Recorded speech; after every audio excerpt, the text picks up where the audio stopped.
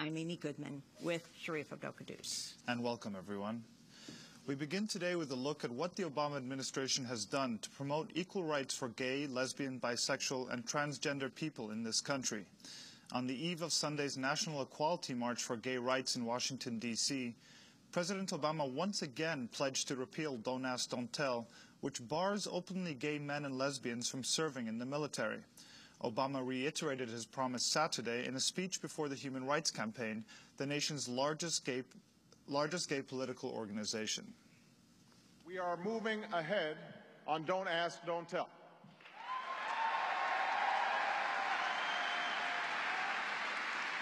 We should not We should not be punishing patriotic Americans who have stepped forward to serve this country. We should be celebrating their willingness to show such courage and selflessness on behalf of their fellow citizens, especially when we're fighting two wars.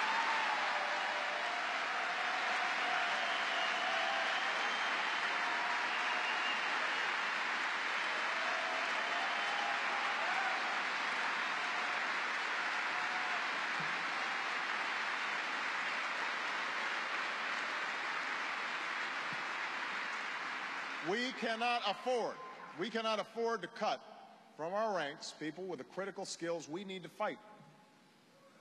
Any more than we can afford for our military's integrity to force those willing to do so into careers encumbered and compromised by having to live a lie. So I'm working with the Pentagon, its leadership, and the members of the House and Senate on ending this policy. Legislation has been introduced in the House to make this happen. I will end Don't Ask, Don't Tell. That's my commitment to you. But many queer activists were frustrated with Obama for not following through on previous vows to end Don't Ask, Don't Tell. In his latest comments, he did not offer any new timetable for its repeal.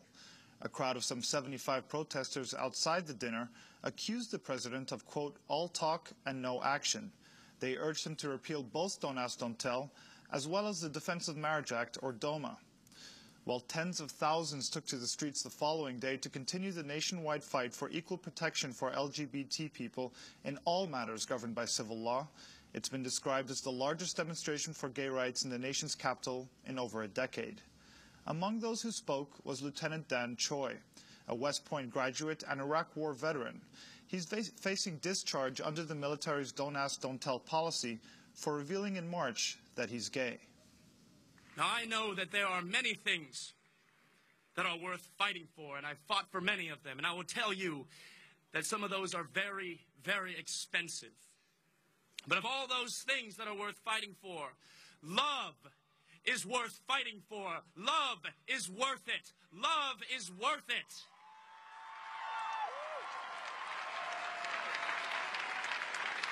Some of us have come from very far places to be here today.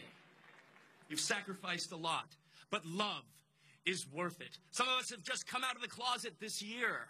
Some of us are still in the closet. But I want to tell you that love is worth it. We've sacrificed so much. Some of us have been rejected by our families and our communities and our churches and our workplaces. But I would tell you that love is worth it. And many of us have been discharged from the service because we told the truth. But I know that love is worth it. We love our country, even when our country refuses to acknowledge our love. But we continue to defend it and we continue to protect it because love is worth it. Love is worth it. If you believe it, say it with me. Love is worth it. Love is worth it.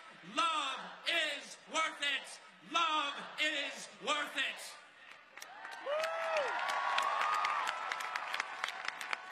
Like so many others, I joined the military because my country beckoned me. Ask not what your country can do for you, but ask what you can do for your country. But when we're telling the truth about our love, our country slaps us in the face and orders us, don't ask and orders us, don't tell. Well, I am telling you that the era and the time for asking is over. I am not asking anymore. I am telling. I am telling. I am telling. Will you tell with me? asking is over. We will tell. Because in the face of injustice and the face of discrimination, patience is not a plan. In the face of discrimination, silence is not a strategy. My plan today and my plan tomorrow and my plan forever is to tell, is to tell, and we will tell, we will tell, we will tell.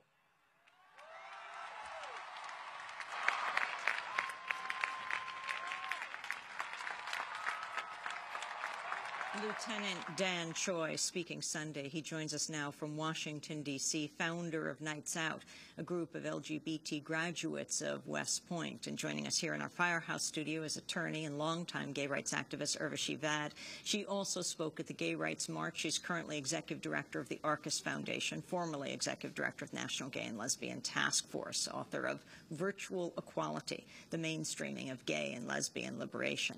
In April of this year, she was named one of Out Magazine's 50 most influential men and women in America. We welcome you both to Democracy Now! Lieutenant Dan Choi, uh, why don't you start off by telling us your story? Um, yes, we see you addressing thousands of people in Washington, uh, but talk about where you grew up and how you came to the point you are today. Amy, I think it's so important, and thank you so much for having me on. People see some of those things that we say in front of large crowds, but they don't realize some of the personal sacrifices that get us to where we are. I'm originally from Orange County, California. My parents uh, are immigrants from Korea. They've only been here about 40 years.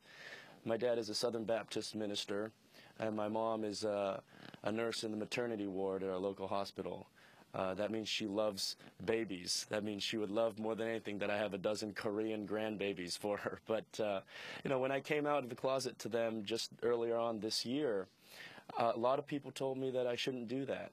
A lot of people told me, why don't you just, uh, why don't you just stay silent? Why don't you just be quiet and lie about it? Well, when I came back from Iraq, I finally understood what love was when I started a relationship, my very first one. And I didn't want to lie about that anymore. I didn't feel that if I respected my parents and I respect and love them, that that kind of a relationship should be based on anything other than integrity and full disclosure. They should be a part of it. So I told my mom, she said, you know, I love you, but gay doesn't exist. And my dad was, you know, also very skeptical. He didn't understand it. So then I realized I'd only told them, and they've only known about 28 seconds. Well, I've known about 28 years. So I thought that it was going to take decades or maybe even uh, multiple decades for them to understand, much less accept anything. But about three days ago, about four days ago, right as I was landing here in, in D.C., in preparation for this march, I had a phone call with my dad, and uh, he said that he loves me and that he accepts me as his gay son. That's something I never would have expected, and it's been a crazy journey ever since we started this group of West Point graduates who are LGBT, as well as our supporters.